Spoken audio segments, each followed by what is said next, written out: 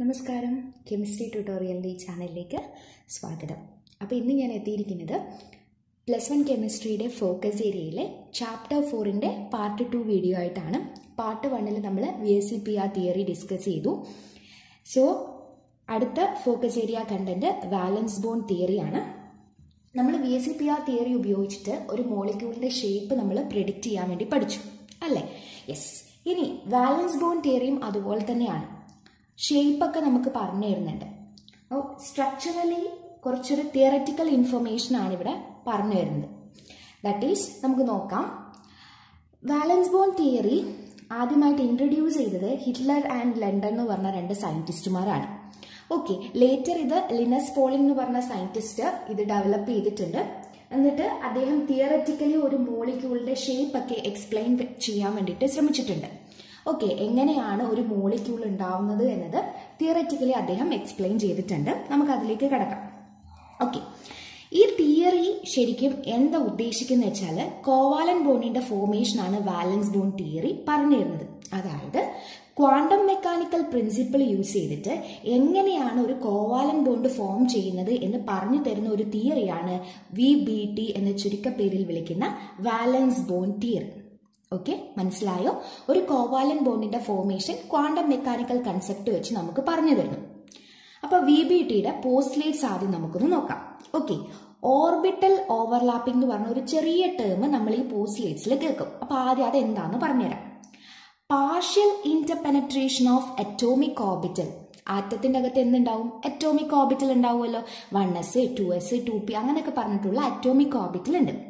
അപ്പൊ അങ്ങനെയുള്ള atomic ഓർബിറ്റലിന്റെ partial interpenetration അതായത് മിക്സിംഗ് ഓക്കെ ഒരു എസ് ഓർബിറ്റൽ സപ്പോസ് ഇതൊരു എസ് ഓർബിറ്റൽ ആണെങ്കിൽ മറ്റൊരു എസ് ഓർബിറ്റലുമായിട്ട് മിക്സ് ചെയ്യുന്ന പരിപാടി.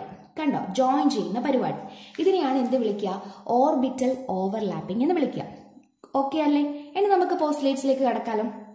A covalent bond is formed by the overlapping of half the atomic orbitals present in the valence shell of an atom എന്താ പറഞ്ഞിരിക്കുന്നത് ഒരു കോവാലൻ ബോണ്ട് ഫോം ചെയ്തിരിക്കുന്നത് half ഫിൽഡായ അറ്റോമിക് ഓർബിറ്റൽ ആരുടെ? ഒരാറ്റത്തിന്റെ വാലൻ ഷെല്ലിലുള്ള ഹാഫ് ഫിൽഡായ അറ്റോമിക് ഓർബിറ്റൽ ഓവർലാപ്പ് ചെയ്തിട്ടാണ് ഒരു കോവാലൻ ബോണ്ട് ഫോം ചെയ്യുന്നത്. ഐ റിപ്പീറ്റ് ഒരാറ്റത്തിന്റെ വാലൻ ഷെല്ലിലുള്ള ഹാഫ് ഫിൽഡായ അറ്റോമിക് ഓർബിറ്റൽ ഓവർലാപ്പ് ചെയ്തിട്ടാണ് ഒരു കോവാലൻ ബോണ്ട് ഫോം ചെയ്യുക എന്ന് പറഞ്ഞു. വാലൻ ഷെൽ എന്ന് പറഞ്ഞാൽ ഏറ്റവും അറ്റത്തെ ഷെല്ല്. അതിന്റെ അകത്ത് പകുതി നിറഞ്ഞിരിക്കുന്ന ഹാഫ് ഫിൽഡ് പകുതി നിറഞ്ഞിരിക്കുന്ന അറ്റോമിക് ഓർബിറ്റൽസ് പരസ്പരം മിക്സ് ചെയ്യും. എന്നിട്ടാണ് ഒരു കോവാലൻ ബോണ്ട് ഉണ്ടാവുക. ഇനി ഓവർലാപ്പ് ചെയ്യുമ്പം മറ്റൊരു കാര്യം ശ്രദ്ധിക്കണം. Overlapping orbital should contain electron with opposite spin എന്താ പറയുന്നേ? ഓവർലാപ്പ് ചെയ്യുന്ന ഓർബിറ്റലിൽ ഇരിക്കേണ്ട ഇലക്ട്രോണ് ഓപ്പോസിറ്റ് സ്പിൻ ആയിരിക്കണം. അതായത് ഇതിലുള്ള ഇലക്ട്രോൺ ക്ലോക്ക് വൈസ് ആണെങ്കിൽ ക്ലോക്ക് വൈസ് നമ്മൾ മുകളിലോട്ടേക്ക് ഏറെ കാണിക്കുക. മറ്റേ എസിന്റെ ആന്റി ക്ലോക്ക് വൈസ് ആയിരിക്കണം. ഇതാണ് എന്ത് പറയുന്നത്? ഓപ്പോസിറ്റ് സ്പിൻ എന്ന് പറയുന്നത്. ഒരാളുടെ മുകളിലോട്ടാണെങ്കിൽ മറ്റേ ആളുടെ താഴോട്ടായിരിക്കണം. ഇത് ക്ലോക്ക് വൈസിനെ ഇൻഡിക്കേറ്റ് ചെയ്യുന്നു ഇത് ആന്റി ക്ലോക്ക് വൈസിനെ ഇൻഡിക്കേറ്റ് ചെയ്യുന്നു. ഇതൊക്കെ ഞാൻ സെക്കൻഡ് ചാപ്റ്ററിൽ ഡീറ്റെയിൽ ആയിട്ട് പറഞ്ഞിട്ടുണ്ട് clockwise anticlockwise സ്പിന്നിന്റെ കാര്യങ്ങളൊക്കെ. സ്പിൻ ക്വാണ്ടം നമ്പർ എന്നുള്ള സെക്ഷൻ നോക്കുക ഡൗട്ട് ഉള്ളവർ ഓക്കെ ഓക്കെ സോ ഓവർലാപ്പിംഗ് ഓർബിറ്റൽസിന്റെ അകത്ത് അതായത് രണ്ടാളാണ് ഓവർലാപ്പ് ചെയ്യുന്നതെങ്കിൽ അവർക്കിടയിലുള്ള സ്പിൻ ഇലക്ട്രോണിന്റെ സ്പിന്ന് ഓപ്പോസിറ്റ് ആയിരിക്കണം.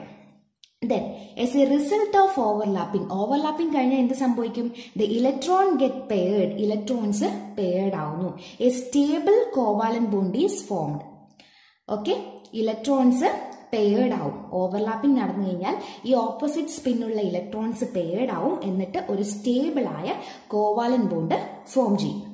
Then a strength of the strength of covalent bond covalent ബോണിന്റെ സ്ട്രെങ്തോ depends on the extent of overlapping എത്രത്തോളം ഓവർലാപ്പ് ചെയ്യുന്നു എന്നതിനെ വെച്ചിട്ടാണ് കോവാലൻ ബോണ്ടിന്റെ സ്ട്രെങ്ത് വരുന്നത്.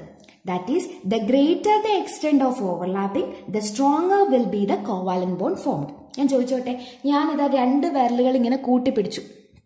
ഓക്കെ ഇതിനാണോ ശക്തി ഉണ്ടാവുക? അല്ലെങ്കിൽ ഇതാ ഇങ്ങനെ നാലെണ്ണം കൂട്ടിപ്പിടിച്ചതിനാണോ ഉണ്ടാവുക? അതായത് ഇങ്ങനെ പിടിക്കുമ്പോഴത്തേക്ക് സ്ട്രോങ്ങർ ആയി ബോണ്ട് അല്ലേ? ദാറ്റ് ഈസ് ഓവർലാപ്പിംഗ് കൂടുമ്പോൾ മിക്സിംഗ് കൂടുമ്പം എന്ത് സംഭവിക്കും? എക്സ്റ്റെൻഡ് ഓഫ് ഓവർലാപ്പിംഗ് കൂടുമ്പോൾ ബോണ്ട് സ്ട്രോങ്ങർ ആവും. അപ്പൊ ഇത്രയാണ് വി ബി ടിയുടെ പോസ്റ്റ്ലേറ്റ്സ് ഒരു കോവാലൻ ബോണ്ട് ഫോം ചെയ്യുന്നത് ഒരു ആറ്റത്തിന്റെ വാലൻസ് ഷെല്ലിലുള്ള പകുതി നിറഞ്ഞിരിക്കുന്ന അറ്റോമിക് ഓർബിറ്റൽ മിക്സ് ചെയ്തിട്ടാണ്. ഓക്കെ മിക്സ് ചെയ്യുന്ന ഓർബിറ്റൽസിലെ ഇലക്ട്രോൺസ് ഓപ്പോസിറ്റ് സ്പിൻ ആയിരിക്കണം.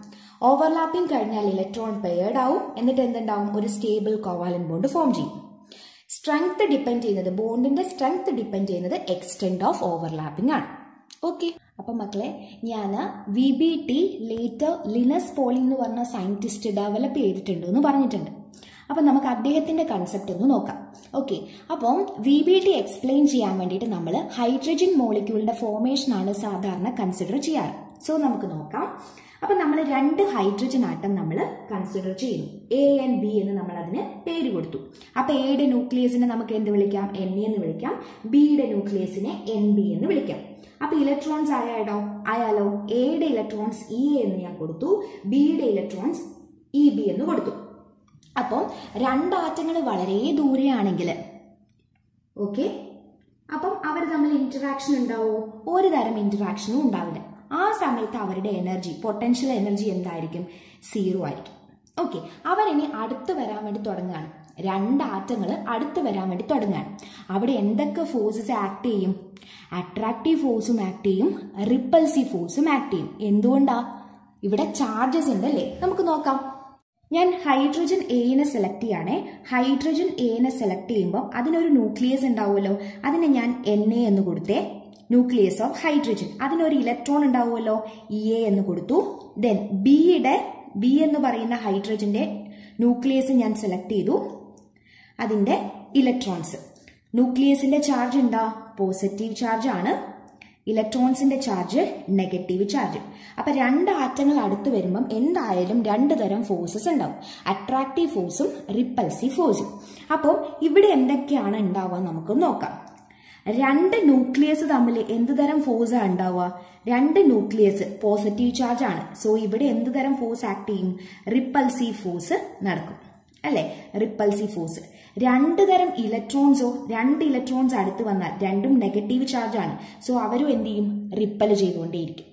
ഇനി അട്രാക്റ്റീവ് ഫോഴ്സിന്റെ കേസ് നോക്കാം. N A N B E E B E അത് നിങ്ങൾക്ക് ഇഷ്ടമുള്ള പോലെ വരയ്ക്കാം കേട്ടോ. ഇത് പോസിറ്റീവ് ഇത് നെഗറ്റീവ് അപ്പം അട്രാക്റ്റീവ് ഫോഴ്സ് നമുക്ക് എങ്ങനെ കാണിക്കാം? ഇതാ ഇവർ തമ്മിൽ അട്രാക്റ്റീവ് ഫോഴ്സ് ഉണ്ടാവും. അല്ലെ? പോസിറ്റീവും നെഗറ്റീവും ഇവർ തമ്മിലും അട്രാക്റ്റീവ് ഫോഴ്സ് ഉണ്ടാവും. അത് മറ്റൊരാളുടെ ആണെങ്കിൽ കൂടി ഉണ്ടാവും. ഇത് ശരിക്കും എയുടെ ആണ് ഇലക്ട്രോൺ ഇത് പക്ഷേ എയുടെ ആണോ? അല്ല ബിയുടെ ആണ്. പക്ഷെ ഇതിൽ നെഗറ്റീവ് ചാർജ് ഉള്ളത് കൊണ്ട് ഈ പോസിറ്റീവ് ചാർജിന് ഇങ്ങോട്ടേക്കും ഒരു അട്രാക്ഷൻ ഉണ്ടാവും. ദെൻ ഇതാ.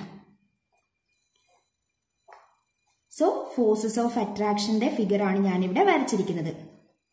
അപ്പം നമുക്ക് പോയിന്റ് ഒക്കെ എഴുതി കഴിഞ്ഞതിന് ശേഷം ഈ രണ്ട് ഫിഗറും കൂടി വരച്ചു കഴിഞ്ഞാൽ വി ബി ടിക്ക് ഫുൾ മാർക്ക് അങ്ങ് കിട്ടി. പോയിന്റിനല്ലേ മാർക്ക് അപ്പം ടീച്ചേഴ്സിനെ ഇംപ്രസ് ചെയ്യാൻ നമുക്ക് ഇങ്ങനത്തെ കുറച്ച് ഫിഗറൊക്കെ യൂസ് ചെയ്ത് കഴിഞ്ഞാൽ അല്ലെങ്കിൽ ഡയഗ്രമാറ്റിക്കലി നമ്മൾ ആൻസർ പ്രസന്റ് ചെയ്യുമ്പം കുറച്ചും കൂടി ഇംപ്രഷൻ ആയിരിക്കും ടീച്ചേഴ്സിന് വാല്യുവേഷൻ ക്യാമ്പിൽ പേപ്പർ നോക്കുന്ന സമയത്ത്. ഓക്കെ അപ്പം മാക്സിമം ഡയഗ്രമാറ്റിക്കലി നമുക്ക് അതിന്റെ അകത്തേക്ക് എഴുതി ഫലിപ്പിക്കാൻ പറ്റുകയാണെങ്കിൽ നല്ലതായിരിക്കും. എന്ന് വെച്ച് ആൻസർ ഷീറ്റിൽ ഫുൾ ഡയഗ്രം പാടില്ല കേട്ടോ.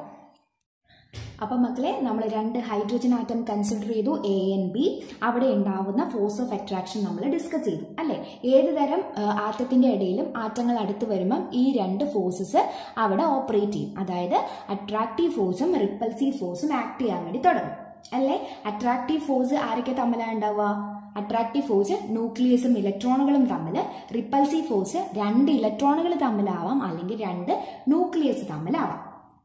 ഓക്കെ അട്രാക്റ്റീവ് ഫോഴ്സ് വന്നാൽ എന്താ സംഭവിക്കുക? രണ്ട് ആറ്റങ്ങൾ ചേർന്ന് നിൽക്കും. റിപ്പൾസീവ് ഫോഴ്സ് ആണെങ്കിലോ രണ്ട് ആറ്റങ്ങളെ ദൂരത്തേക്ക് പുഷ് ചെയ്യും. അല്ലേ? യെസ് ഇനി എക്സ്പെരിമെന്റലി ഇവിടെ തെളിഞ്ഞിട്ടുണ്ട്. അതായത് അട്രാക്റ്റീവ് ഫോഴ്സിന്റെ മാഗ്നിറ്റ്യൂഡ് റിപ്പൾസീവ് ഫോഴ്സിനെക്കാളും കുറച്ച് കൂടുതലാണെന്ന് experimentally തെളിഞ്ഞിട്ടുണ്ട്. Okay magnitude of attractive force is more than new repulsive force ഉണ്ടാവുന്ന റിപ്പൽസീവ് ഫോഴ്സിനേക്കാളും കൂടുതലാണ് ആർക്ക് അട്രാക്റ്റീവ് ഫോഴ്സ് അപ്പൊ അട്രാക്റ്റീവ് ഫോഴ്സ് കൂടുതൽ നിൽക്കുമ്പോൾ എന്ത് സംഭവിക്കും? ആറ്റങ്ങൾ അടുത്തടുത്ത് വരും. ആറ്റങ്ങൾ കുറച്ചും കൂടി അടുത്ത് വരും. അപ്രോച്ച് ചെയ്യും. അപ്പോൾ അപ്രോച്ച് ചെയ്യുന്ന സമയത്ത് എന്ത് സംഭവിക്കും? അവരുടെ പൊട്ടൻഷ്യൽ എനർജി എന്താവും? കുറഞ്ഞു കുറഞ്ഞു വരും. പൊട്ടൻഷ്യൽ എനർജി കുറയും. അപ്പോൾ ഒരു പെർട്ടിക്കുലർ സ്റ്റേജിൽ എത്തുമ്പോൾ അട്രാക്റ്റീവ് ഫോഴ്സ് എന്ത് ഫോഴ്സിനെ അങ്ങ് റിപ്പൾസീവ് ഫോഴ്സിനെ എന്ത് ചെയ്യും? ബാലൻസ് ചെയ്യും. അപ്പൊ എനർജി എന്താവും? മിനിമത്തിലെത്തും അതായത് അട്രാക്റ്റീവ് ഫോഴ്സ് ഓവർകം ചെയ്യും. അട്രാക്റ്റീവ് ഫോഴ്സ് കൂടി കൂടി നിൽക്കും റിപ്പൽസീവ് ഫോഴ്സ് കുറഞ്ഞു നിൽക്കും. ആ സമയത്ത് എന്ത് ചെയ്യും? രണ്ട് ഹൈഡ്രജനും അങ്ങ് ബോണ്ട് ഫോം ചെയ്യും. ഓക്കെ മിനിമം എനർജിയിൽ രണ്ട് ഹൈഡ്രജനും ചേർന്നിട്ട് ബോണ്ട് ഫോം ചെയ്തിട്ട് ഒരു സ്റ്റേബിൾ മോളിക്യൂൾ ആയിട്ട് നിൽക്കും. ഓക്കെ അപ്പോൾ ആ സമയത്ത് ആ രണ്ട് ആറ്റങ്ങൾക്കിടയിലുള്ള distance the distance between the two atoms at this stage അതിനെ എന്ത് വിളിക്കും? ബോണ്ട് ലെങ്ത് എന്ന് വിളിക്കും. Okay ഹൈഡ്രജന്റെ bond length seventy four picometre ആണ് വരുന്നത്. ഈ സമയത്ത് ബോണ്ട് ഫോം ചെയ്യുന്ന സമയത്ത് നമ്മൾ പറഞ്ഞു എനർജി റിലീസ് ചെയ്യുന്നു. എന്തിനാ എനർജി റിലീസ് ചെയ്യുന്നത്? സ്റ്റെബിലിറ്റി ഉണ്ടാവാൻ വേണ്ടിയിട്ട് അല്ലേ? സോ എത്രത്തോളം എനർജി റിലീസ് ചെയ്തോ ഈ സ്റ്റേജിൽ അതിനെയാണ് എന്ത് വിളിക്കുക? ബോണ്ട് എൻതാൽപ്പി എന്ന് വിളിക്കുക.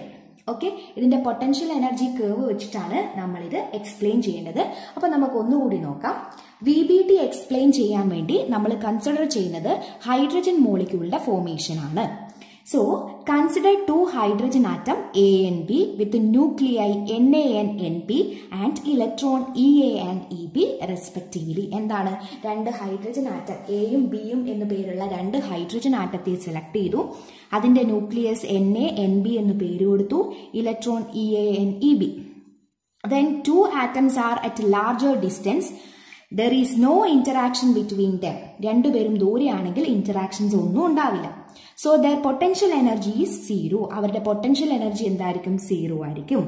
When the two atoms approach each other അടുത്ത് വരുമ്പോഴോ new attractive and repulsive forces begin to operate അടുത്തോട്ട് വരുന്നതിനനുസരിച്ച് അട്രാക്റ്റീവ് ഫോഴ്സും റിപ്പൾസീവ് ഫോഴ്സും മെല്ലനെ ഓപ്പറേറ്റ് ചെയ്യാൻ വേണ്ടി തുടങ്ങും. ദാറ്റ് ഈസ് ഒന്ന് തലപൊക്കി തുടങ്ങും. Attractive force arises between nucleus of one atom and electron of other atom that is N A E B N B E NbEa.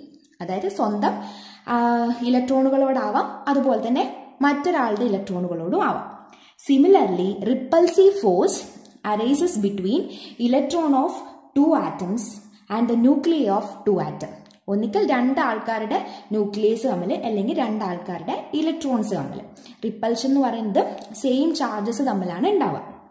Then കുറച്ച് സമയം കഴിയുമ്പോൾ അട്രാക്റ്റീവ് ഫോഴ്സ് റിപ്പൾസീവ് ഫോഴ്സിനെക്കാളും കൂടും. ഇറ്റ് ഈസ് എക്സ്പെരിമെന്റലി പ്രൂവ് ചെയ്ത കാര്യമാണ്.